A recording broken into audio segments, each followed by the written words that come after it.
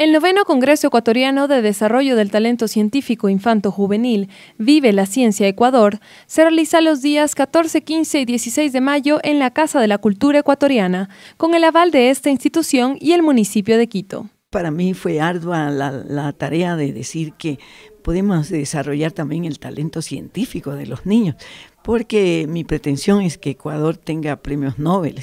y yo creo que la formación desde la primera infancia de los niños es muy importante en ese campo. Este evento está abierto a padres de familia, docentes, psicólogos y público en general que quiera participar en la búsqueda de alternativas para el desarrollo de esta población con altas capacidades intelectuales. Me parece que cada niño, en este caso, en el caso de niños de capacidades especiales, tiene unas necesidades particulares, tiene unas condiciones particulares, por lo cual, más que definir así en general un sistema, de qué se puede hacer, habría que ver cómo, cómo se establece un sistema que pueda reconocer estas capacidades a tiempo y darle un tratamiento particular a cada uno, de acuerdo a sus necesidades y sus capacidades individuales.